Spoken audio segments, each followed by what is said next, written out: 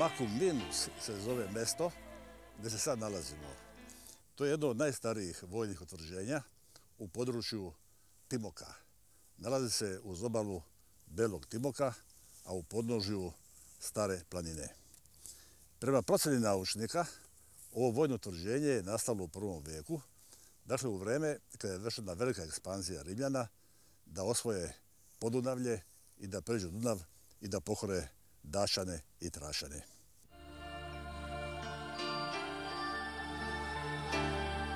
Međutim, nije samo taj vojni aspekt bio u pitanju, nego je u blizini ovog mesta su pronađena značajna dragocenih ruda, pre svega bakra, zlata i srebra, gvožđa također, a i redkih metala kao što su bili molibden, antimon i drugi. Tako da, prema nekim podacima, naselje je formirano u prvom veku i bio je značajan administrativni centar upravo za ovu široku rudarsku oblast. Međutim, ima jedan detalj koji izliče pažnji. Naime, mi pouzdano znamo za postojanje Timakova minusa na osnovu takozvane Pojtinjerove karte. E, to je putna mapa Rimskog carstva. E, nju je sastavio 340. godine čuveni rimski kartograf Kastorije. Znači, e, u periodu od prvog do polovine četvrtog veka mi u stvari nemamo neke tačne podatke, ali znamo pouzdano da su ovdje bile stacionirane e, rimske legije i kohorte, mahom, e, sastavljene od e, stanovništva iz Male Azije, konkretno iz Sirije.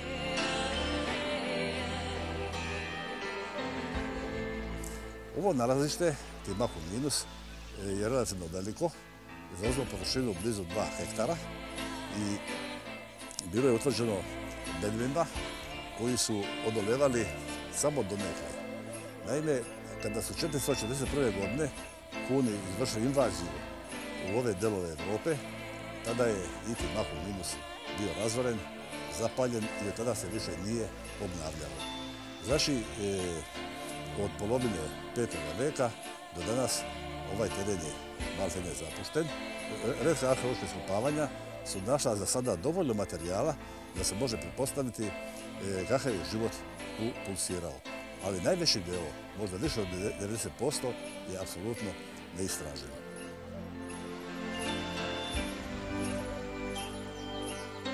Čudi pomalo i činjenica da veliki Justinijan koji je 536. godine utvrđivao severnu granicu Rimskog carstva, e, prema nekim podacima, odnosno njegov glavni e, arhitekta Prokopije, koji je napisao knjigu o građevnama, spominje da je 36 e, tvrđava i utvrđena obnovio, ali se nigde ne spominje Timakom minus. E, u obližnjom e, mestu Ravna se čuvaju značajni ostaci nađeni ovdje. Mahom su to narodni spomenici, žrtvenici, miljokazi, ali i drugi predmeti koji bacaju sliku na život tih e, drevnih e, metalaca, da ih tako nazovemo. Od e, delova koji su ovdje istraženi, pažnju privlače sljedeći. Pre svega je pronađena jedna velika žitnica, ovaj, zatim su pronađene terme i veliko postrojenje za grejanje vode, što se uklapa u standarde jer Rimljani su god podezali svoje logore, svoje otvrđenja, imali su ovaj, u prvom planu da obezbede uslove e, za bezbedan život, a onda za zadoljavanje e, higijenskih potreba.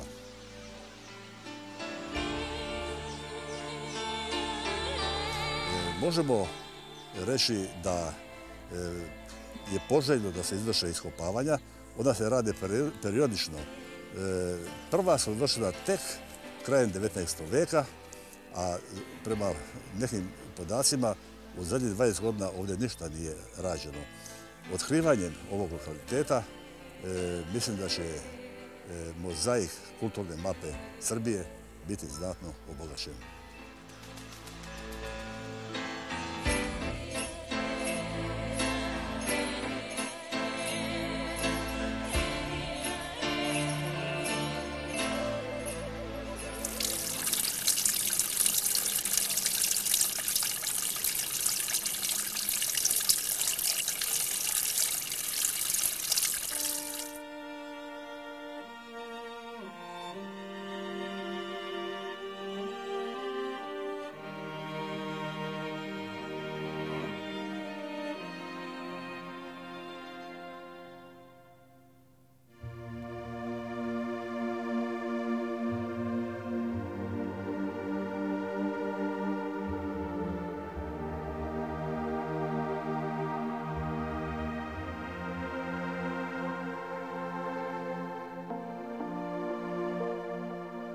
Spomen Kosturnica u Ćelijama pod brdom Albanija, pod Vrače brdom, evo, simbolički naziv Albanija 1914. ovdje je bila bitka, a već kasnije bilo je ono čuveno bežanje, čuvena bežanija preko Albanije na Solu.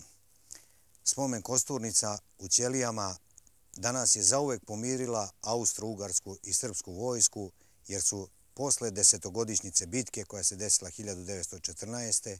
i njeno najveće poprište je bilo upravo na ovim brdima, Vraća brda i Čovke, pomirila je Austro-Ugarske i Srpske vojnike koji zajedno počivaju u kripti.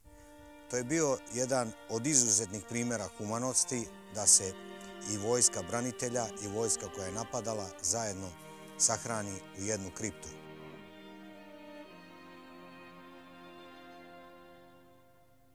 Crkva skromnih dimenzija pravougalnog oblika podignuta je na temeljima starog srednjevekovnog manastira.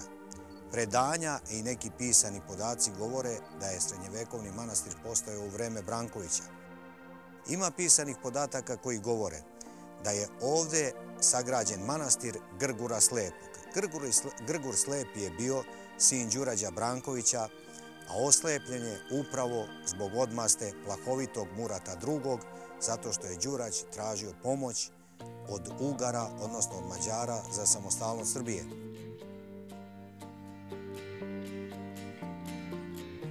Kada se zapravo obnavljala ova kosturnica i kada se rušio stari konak, pronađeno je tu u blizini drvo zapisa. Samo mesto koje se zove Ćelije govori da su tu još od ranije postojale monaške kelije, najverovatnije kelije Sinaita, koji su dolazili sa Sinajske gore i ovde polako širili e, veru i podizali manastire.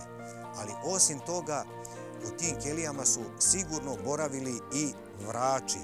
Prevedeno na e, starim srpskim jezikom, vrači su se zvali lekari. Monasi su znači bili i lekari i lečili su na ovim prostorima i u ovim kelijama. Tako da jednostavno sami nazivi ovih mesta govore kolika je bila važnost i kolika je bila starina, e, kolika je starina ovog objekta i kolika je starina ove svetinje. Ono što, nažalost, ne postoji samo mali ostaci fresaka iz srednjeg veka u dnu ove crkve na jednom od zidova postoje, tako da ne možemo, e, ne možemo e, na ovom mestu zabeležiti umetnost tog perioda. Jedino što, mož, e, što možemo na osnovu temelja, naročito kada je obnavljena ova crkva, na osnovu temelja možemo da zaključiti da je na ovom mestu bila mnogo veća, mnogo veća svetinja koja je također građena u raškom stilu, kao mnoge svetinje u Kolubarskom kraju.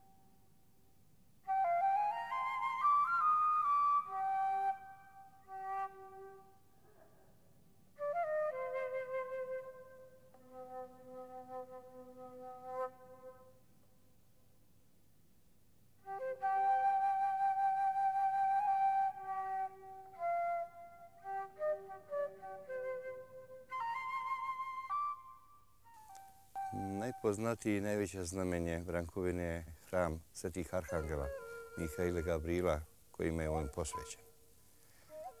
Na kamenoj ploči koja se na, nalazi ugrađena u zidine hrama piše da Brankovački hram ne zna se od kada postoji. Da je mnogo puta goreo paljen za vreme Turaka. Po predanju koje sam od pokojnog prote sveštenika dvogodišnjeg pred crke Brankovine doznao da je ovo 11. crkva na temeljima starih crkava.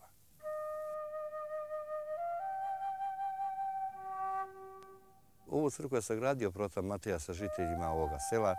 829. godine početa je gradnja, 1830. je završena. Sagrađena je u ranom baroknom stilu po ugledu crkvu Kupinu u Sremu, gdje prota učio bukvar. Kako on kaže da je to najljepša crkva koju je on nikada u životu svome video, jer u Srem, Austro-Ugarska, raskoš baroka, a ovdje su crkve bile skromne, male, brbnare, tako da je to veliki utisak na protu tada ostavilo, da je on sagradio u voliku crkvu.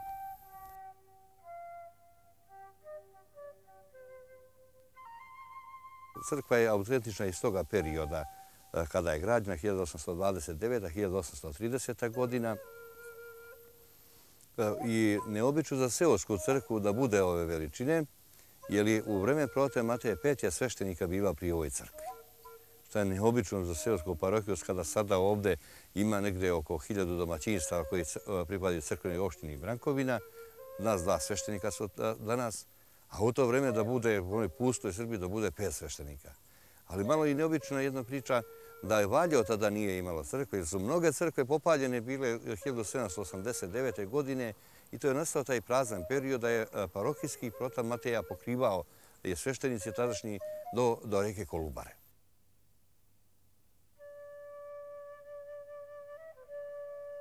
Brankovina poznata je po čuvenoj porodici Nenadović i nekropolama koje su podnijeli nad grobovima slavnih knjez e, Alekse, Vojvode Jakova, Prote Mateje, Čka Ljube, Jeprema Sime, Nikola i ostali znamenitih Nenadovića. Knjez Aleksa, jedan od valjevskih knjezova koji je 804. godine posrećen 23. januara, e, koji je eto, e, e, bio knjez valjevski i sahranjen je crkve u Brankovini. U grobu sa knjezom Aleksom počiva e, i njegov brat Vojvoda Jakov, prvi ministar e, unutrašnjeg unutrašnjih dela u to vreme, kako je prevedeno na naš jezik do nas, ministar policije. Njemu e, nije bilo spomen obeleža nigdje podignutog. Tek 2001. godine na obelisku koji je podignut posle drugog srpskog ustanka nad grobom knjeza Alekse, njegovim dodata je ploča Eh, Vojvodi Jakovu Nenadovića kao prvom eh, eh, ministru Srpske policije. Prota Mateja Nenadović, koji je rođen 1777. godine, 1854. godine pokojio se. 77 godina živeo. Eh, vrstan sveštenik, vojskovođa, diplomata, duhovnik, književnik, njegovi memoari, zahvaljujući njegovim memoarima, kako on kaže, mnogi će još te učenije i pismenije to pisati, ali niko neće tačnije. Jer prota je hronološki beležio događaja koji su se odvijali u to doba i zahvaljujući memoarima protivnim na period prvog srpskog ustanka i drugog do sredine, znači 19. veka, nam je mnogo jasne zahvaljujući protivnim memoarima. U grobu sa ocem protom počiva i njegov sin Čika Ljuba, kako sam iz Milošta ovdje zovemo ga u Brankovini, Ljubomir Nenadović, Ljubomir P. Nenadović, kako se on potpisivao Eh, pošto se nije ženio, ostavio Amane da počiva u grobu sa svojim ocem Protom. Da mu eh, deca Brankovine podignu spomenik. Eh, akciju oko dizanja spomenika Čeka Ljubi vodio je Mika Maksimović, otac pesnikinje Desanke. Deca Brankovine su počela prikupljaju priloge, a zatim su deca cele Srbije dala svoje priloge te su podigli spomenik Ljubi.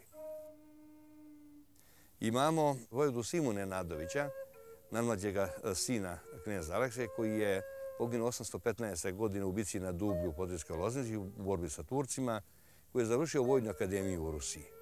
Vrstan borac, e, e, veliki junak, eto, 815. godine on je poginuo i počiva kraj crkve u Brankovini. Tekst na spomeniku smatra se da je Vojvode Sime, da je napisao Prota Matea. Onda imamo Vojdu Jefrema Nenadovića, sina sina Vojvode Jakova, koji je bio sahranjen na Beogradskom novom groblju. Međutim, 1927. godine kralj Aleksandar je po svojoj želji i trošku preneo znači, mošti Jefrema Nenadovića i ostalih znamenitih Nenadovića koji su počivali tada u toj grobnici porodičnoj u Beogradu veza sada Nenadovića i Karadžorđevića e, e, ostvarila se tako što je e, krvna, znači krvno srodstvo postaju Jefrema čerka Persida. Bila je udata za Karadžorđevog sina Aleksandra i iz toga braka rođen je kralj Petar, prvi Karadžorđević. I, i spomenik sljedeći koji se u nizu nalazi kaj crkve ovdje je posvećen kralju Petru i izginuli i pomrli od 1912. do 1919. godine.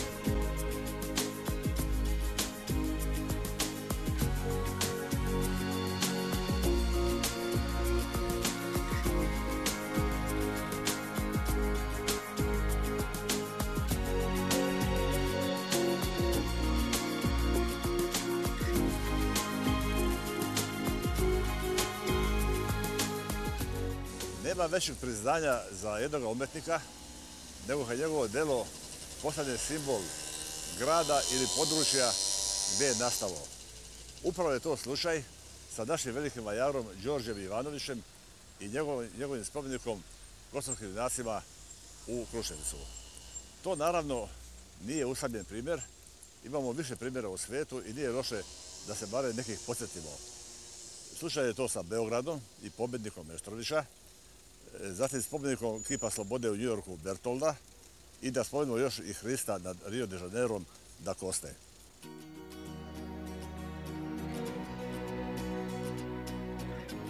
Do podizanja ovog spomenika prethodne su dve vrlo važne činjenice. Jedna od njih je što je Đorđe Ivanović, već kao zreo umetnik, imao je skoro 40 godina, kada je 1900. godine učestvovao u Parizu na velikoj izložbi svjetskoj i tu je izložio svoje skise za kosovski boj.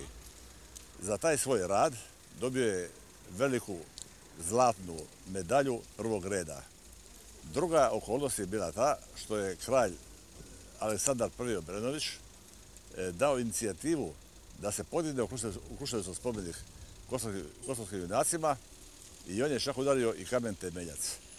Međutim, istorijske okolnosti su bile takve da je do osvećenja spomenika došlo tek e, 1904. Godine i osvećenje je izvršio na Vidovdan kralj Petar I. Karađorđević povodom 100. godišnjice prvog srpskog ustanka. Treba nešto reći o našem velikom vajaru, Đorđu Jovanoviću. On je bio duboko inspirisan e, našom prošlošću, našim junacima, tako da je on, pored ovog spomenika, uradio i neke koje moramo navesti. Između ostalog, to je Vukov spomenik u Beogradu, to je spomenik Josifu Pančiću Isad u Beogradu u Zodjenskom parku, spomenik Knezu Milošu u Požarevcu, zatim biste Vojvode Stepe, Vojvode Mišća i tako dalje.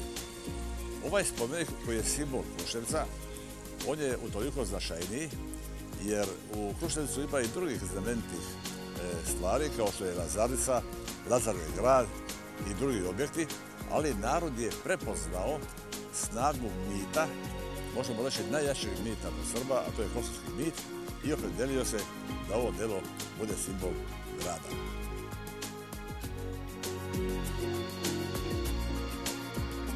Međutim, kad pogledamo ovaj spomenik, koji je pun simbolike, vidimo na vrhu Boška Jugovića, kome je bila stavlja Venas Lovorov, Tu je i veliki narodni pesnik Filip Višnić. Tu su reljefi e, događaja pre Kosovske bitke i nakon nje. Dakle, e, simbolika je uveliko prisutna, a narošto bih skredio pažnju na ogradu koja predstavlja jedinstvenu pojavu stilizacije kosovskih božura. Dakle, takva jedna simbolika se uklapa donekle ovaj, u, u ovo što su govorili kritičari, uključujući Miloša Prediša, ali ne bismo pogrešili ako bismo taj njegov pokušaj ili taj stil, da ga nazovemo, nazvali simbolički realizam.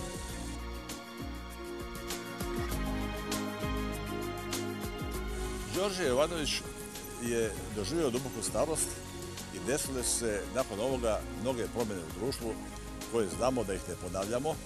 Naravno je došlo do promjena e, značajnih posle drugog svjetskog rata, kada je jedan drugi realizam stupio na scenu, to je bio socijalistički realizam. E, tadašnji nosioci te ideje nisu prepoznali prednost Đorđa Jovanovića i on je u svojoj dubokoj starosti imao 93 godine kada je umro 1953. godine, gotovo zaboravljen. Od tada je prošlo više od 50 godina, ali njegovo delo je opstalo. U tom međuvremenu su desile mnoge pojave i na političkoj sceni, a naročito u umetnosti. Međutim, to nije ovome delu naškodilo. A nije mu naškodilo zbog toga što istinska dela e, svojim vrednostima nadmašuju vreme i prostore i zrače u budućnosti. Na sreću, to je upravo ovo delo Đorđe Ivanovića e, posvećeno posvećenim nasima u Krušnicu.